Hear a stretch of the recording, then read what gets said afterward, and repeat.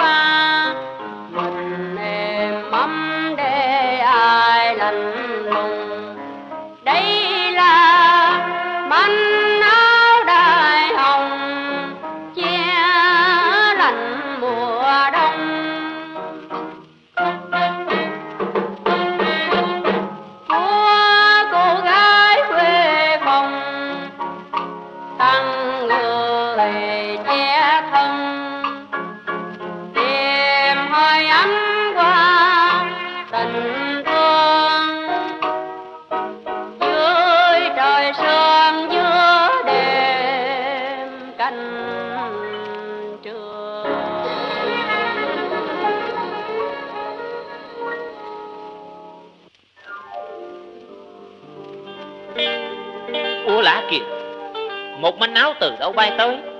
Không lẽ lời thở than thấu tới cao thiên Ai? Ai đã ban cho tiết nhân quý này Manh áo ngữ hàng? Không Không ai cả. Giữa đêm trường Chỉ nghe tiếng gió gào thê thảm.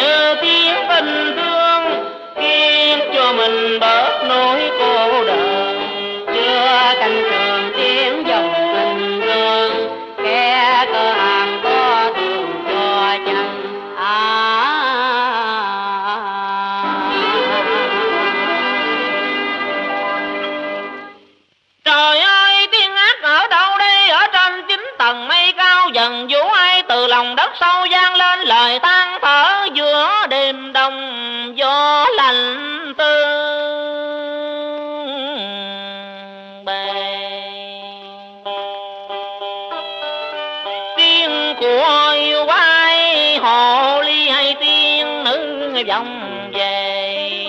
Nửa tỉnh nửa mê, tâm thần bấn loạn, tay cầm áo ngự, hàng mà còn ở chim nghe bao. Gió vẫn thét gào, đêm vẫn trăng sao. Vui mái tây hiền đói nghèo, ôm thân phận.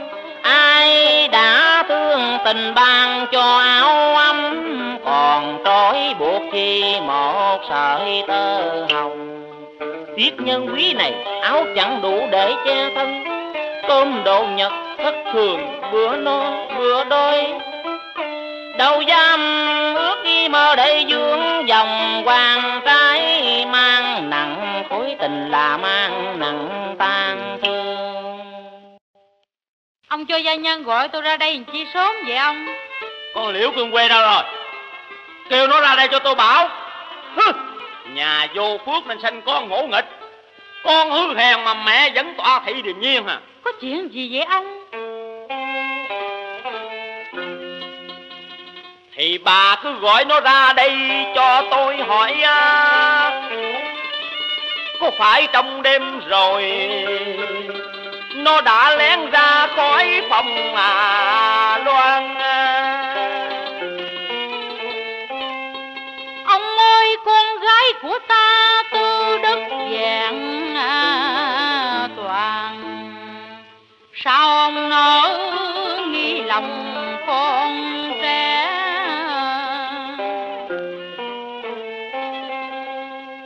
Vậy thì hà cơ cao đại hồng của tổ tiên truyền đế, lâu nay cất giữ trong phòng à, của con liễu kim mà quê vậy mà thằng nhân quý nó được ở đâu mà nó mặc che thân giữa gió lạnh tư à bề có phải là con gái ngỗ nghịch nó đã làm cho gia phong bại á hoài Sao? Ông ông nói sao? Thằng Tiết Nhân Quý hiện giờ đang mặc cái áo đại hồng của nhà mình à? Sao lạ vậy cả? không có lạ gì hết á bây giờ bà đi gọi con chim quê ra đây cho tôi lập tức Ông ơi, ông để tôi... đi ngay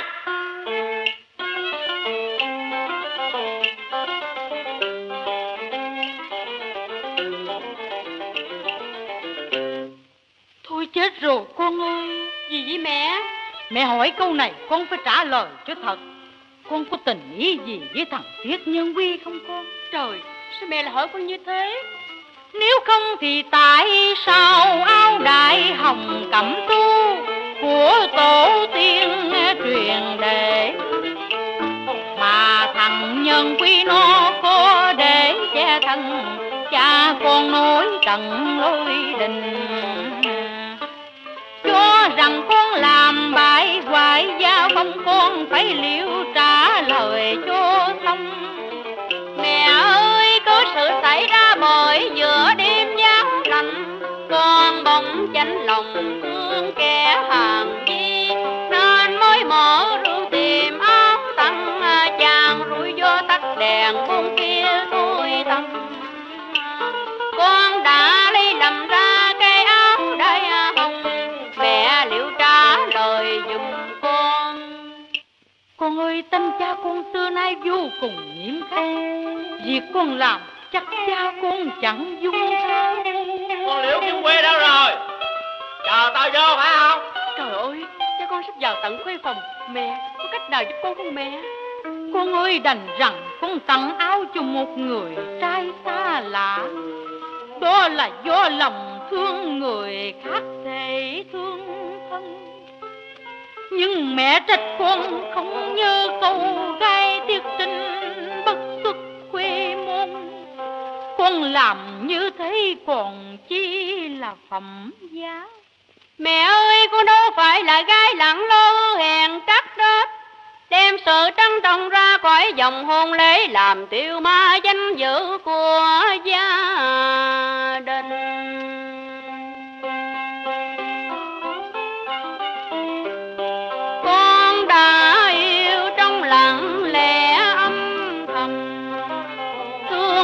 Kẻ cùng đồ mặc dân dáng kiều hùng đâu phải hạng hàng gì. Gió đông về tuyết trắng tung bay, Tặng manh áo cho chàng đỡ lạnh Nào ngờ đâu giết lầm lẫn Làm cha con nổi giận. Xin mẹ thương con mà tình vẹn rồi. Sao lâu quá vậy? Kêu con liễu kim quê ra ngay. Nó không ra tôi vô trỏng mà nó, nó chết với tôi bây giờ. Chết con rồi mẹ ơi. Con, con đừng lo, mẹ nhớ ra rồi. Mẹ, chuyện gì vậy mẹ? Ngày sanh tôi ra Cha con có lấy số tử di về đường duyên nợ Số nói rằng Ngày sau con lấy chồng danh phận nhưng bước đầu phải chịu trăm cay ngàn đắng. Bỏ cửa, bỏ nhà xa mẹ, lìa cha.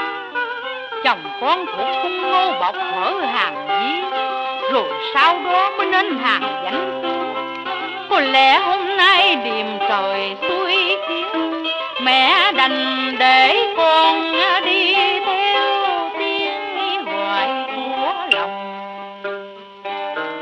Mấy lượng vàng và một số tư trang.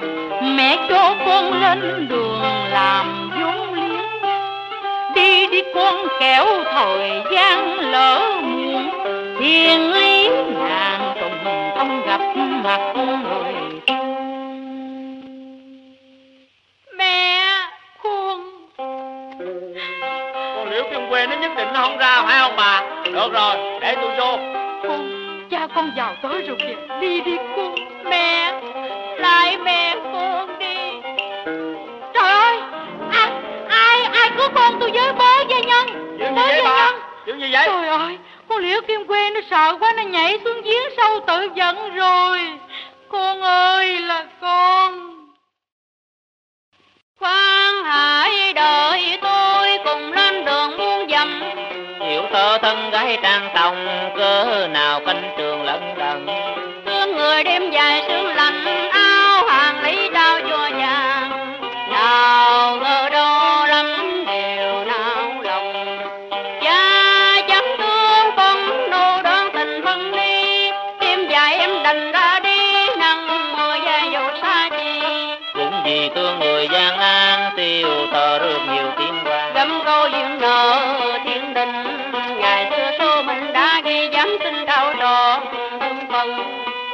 đi đây tiếp con đôi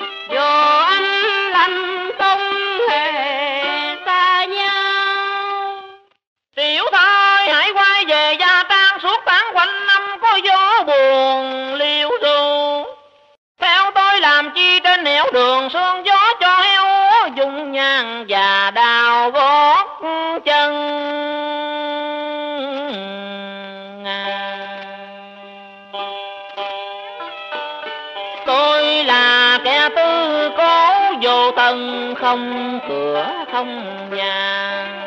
Nghĩ thân phận thêm chán, trường câu dòng vợ. Dù lòng này cũng thật lòng thương. Nhưng cánh chim trời bạc gió ngàn phương, có đa mang lắm chỉ thêm nhiều khổ lụy tài trắng, công danh tuổi nghèo, phú quý hãy để tôi đi đếm bước đọc hành.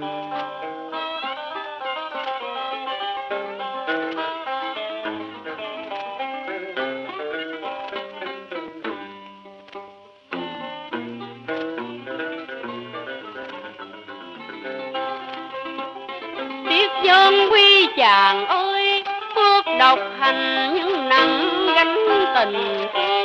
Hãy chúa thiếp theo làm bạn đường chia sẻ. Dù có muốn về cũng không về được nó số kiếp định rồi, phải bỏ mẹ lìa cha. Manh áo đại hồng còn cha lạnh tuyết sương xa. Kiếp còn nơi đây sao chàng nỡ mà chàng chối bỏ tôi, phận hờn duyên cho một gái máu từ đây một manh áo đắp chung tình ấm lạnh thôi đừng khóc nữa liễu nương dù cho lâm gót chân hồng, có bạn tâm đồng trên dạng nếu trong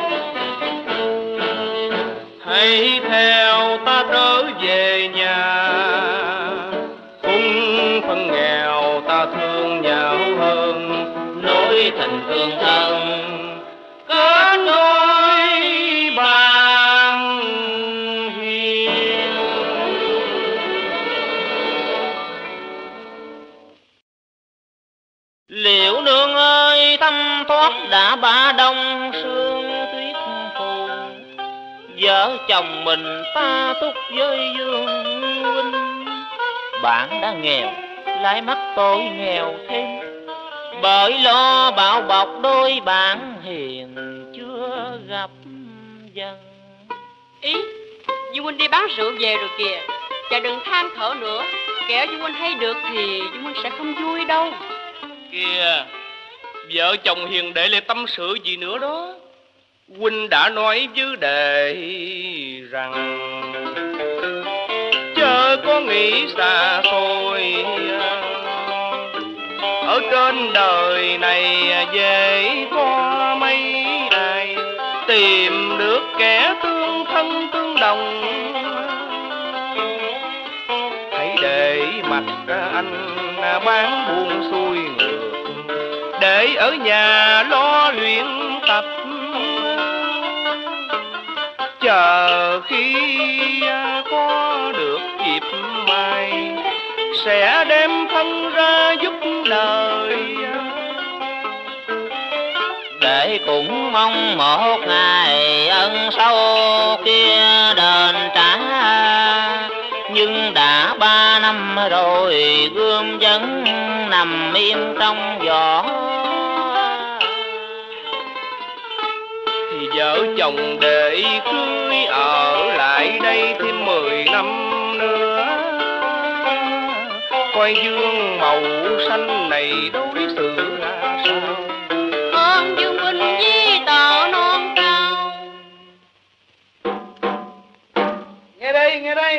tiên mong chiếm sân à. Vậy ai là kẻ tài ba hãy ra phò vua giúp nước. Nghe đây nghe đây.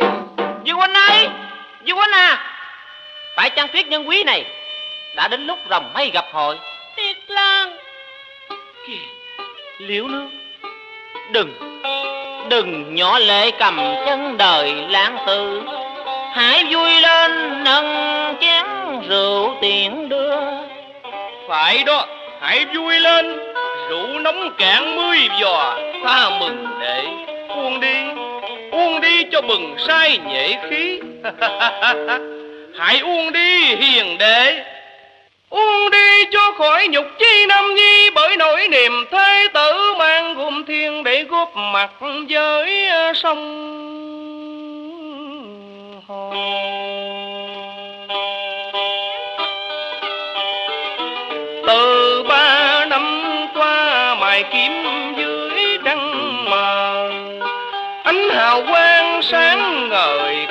Tập luyện cho để gươm cùng ri thép trơ mong đã dương rồi đón lấy thời cơ mang kiêu dùng tung vào dùng bảo lửa. Ấy là để đã đền ơn huynh đó, uống uống cạn đi để rồi à, thiên lý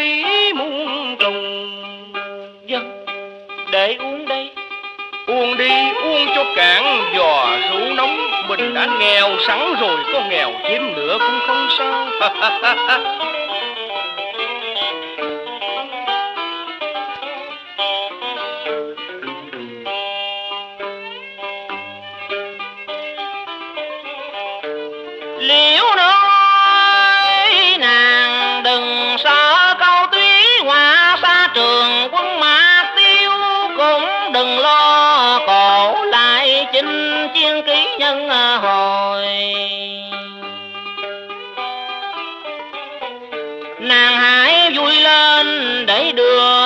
tiếng một người. Ở lại đây có vợ chồng dương huynh đùm bọc ngài danh toại công thành, ta sẽ bái tổ vinh quy. Không có cuộc tình nào mà chẳng có chia ly. Nhưng buồn ta cách để chờ ngày vui đoàn tụ. Trời đã thương mình cho nên duyên chồng vợ thì trời sẽ còn cho một buổi tương phùng vậy đó, Thiêm cứ ở lại đây với vợ chồng tôi, Để không cần gửi gắm. Bốn phận làm chị làm anh, Vợ chồng tôi cũng phải lo đùm bọc cho Thiêm.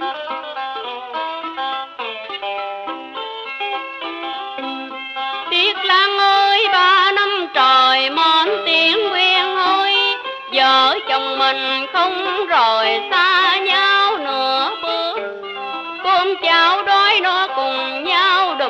Bọc Tuy tuy cuộc tình nghèo, nhưng tìm thấy niềm vui.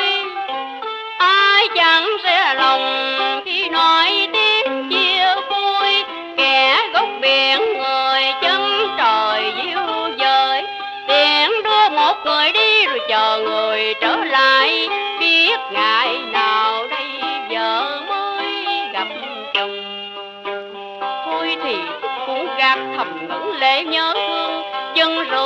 Chân chàng đi đầu quân giúp nước tuyết rơi trăng xoa lưng đẹp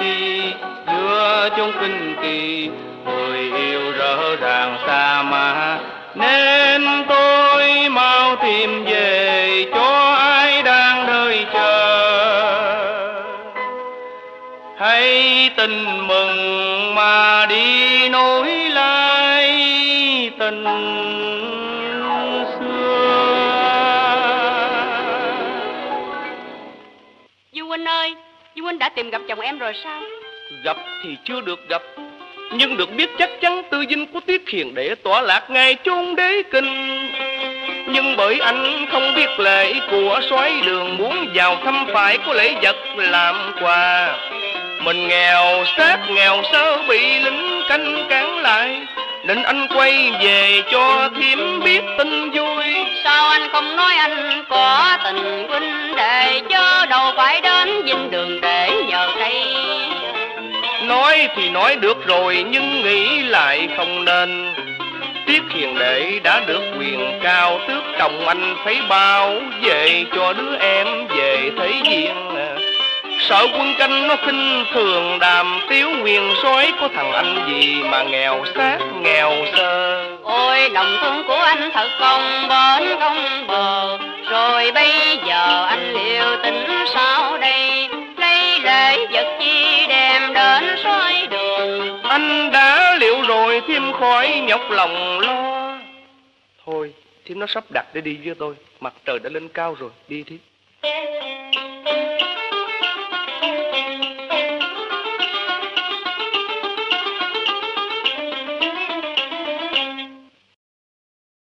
Dạ bẩm nguyên soái, điều chi? Có một người tự xưng là Dương Mẫu Xanh xin ra mắt nguyên soái bằng một giò rượu quý. trời! Quân sĩ! Dạ. Mời hiền huynh ta vào ngay soái phụ. Kìa! Dương huynh! Thưa ngài, ngài cho phép tôi gọi ngài bằng gì chứ phải lẽ?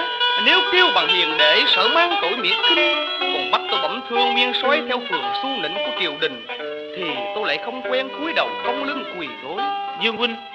Đối với dương huynh tiết nhân quý này vẫn là một đứa em nặng hoằng ở nghĩa. Chứ đâu phải ngày nay được tước trọng quyền cao rồi quên thuở hàng gì Vậy thì ta mời hãy cùng ta cạn Rượu một giò vui hội ngộ để nhớ lại ngày xưa buồn đưa tiễn. Dân để uống đây. Kìa, tại sao đệ không dốc cạn một hơi cho thấm tình huynh đệ? Mà rượu mới nhấp môi coi bộ đã chẳng thích chẳng ưa.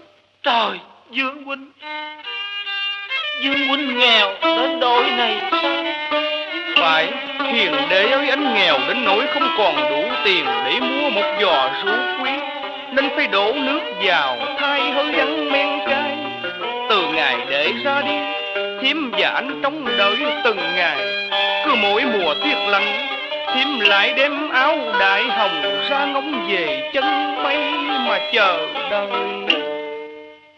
Nhưng người ra ngàn diếu giới Còn kẻ chờ trong vẫn mòn mỏi trong chờ.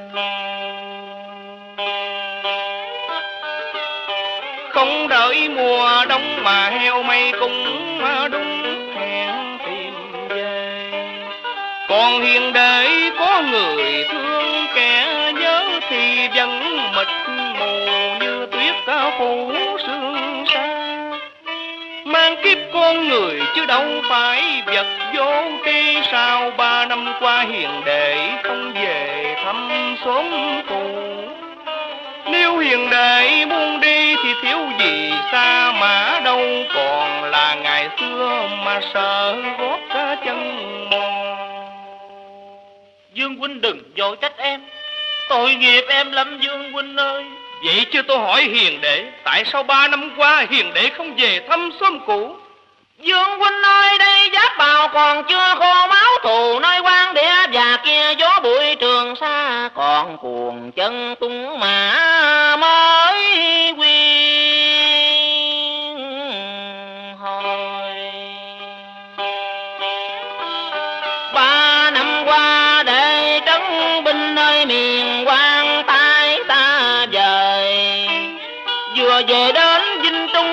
kịp chầu thánh chúa, đã xin phép về thăm cảnh của người xưa. Chớ đâu phải để sống đời xa mã vinh qua nơi chốn đế đô để rồi quên tình huynh đệ. Quên nỗi mỏi mòn của người vợ trẻ, quên áo lạnh chiều đông khi gió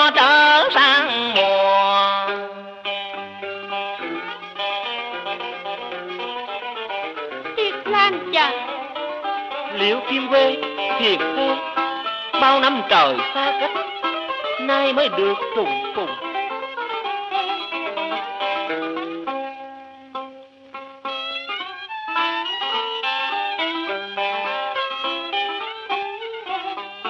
tiếc lăng ơi, bây giờ chàng bước vào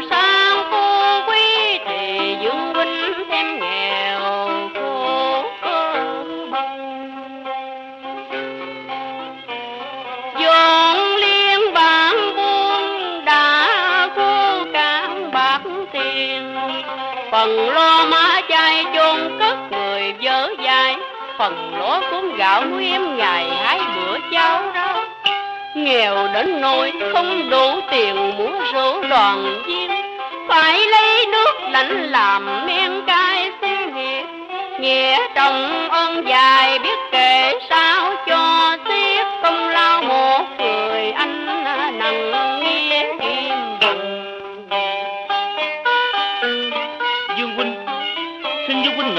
ở lại đây với vợ chồng em để ơn nghĩa kia được đáp đền trong muôn một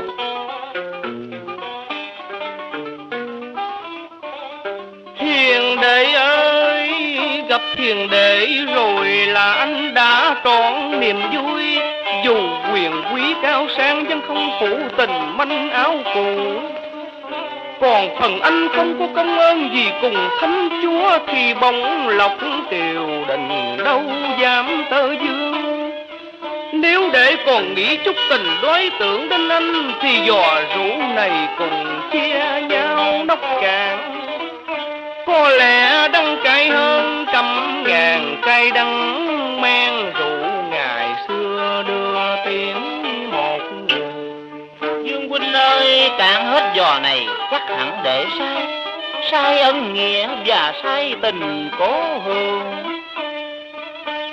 tình xưa nghĩa cũ vẹn toàn thoát cảnh cơ hàng thương áo lạnh.